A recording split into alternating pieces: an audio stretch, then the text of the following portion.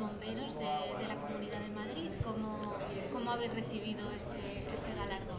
Pues un orgullo, ¿no? Poder recoger este, este premio en nombre de esos 1.300 hombres y mujeres que forman parte del, del Cuerpo de Bomberos, uno de los tres principales cuerpos de bomberos de España y además el único que tiene un equipo internacional de respuesta ante catástrofes que junto con la UME pues llevan esa marca España de solidaridad pues eh, donde hace falta, ¿no? allí donde sucede una catástrofe, o sea que muy contentos. Bueno, además, eh, corrígeme si me equivoco, creo que es la directora o la...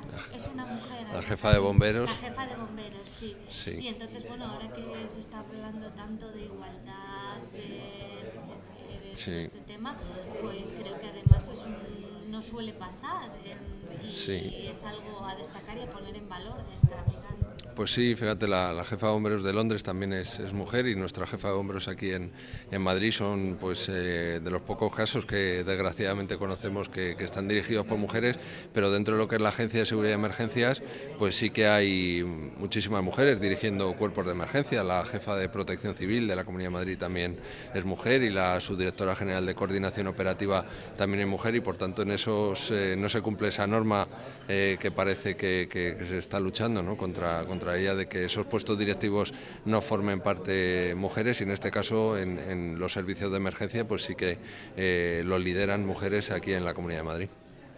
Eh, mañana el Foro Ecofin, además de los premios de esta noche, celebra el Congreso Ecofin, que ya va por la, por la edición número 11 y que tratará sobre las 10 tecnologías que transformarán la empresa.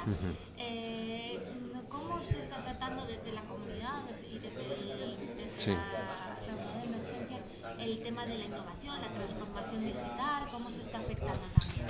Pues nos afecta para bien porque nosotros aprovechamos las nuevas tecnologías para ser más eficientes y eficaces. ¿no?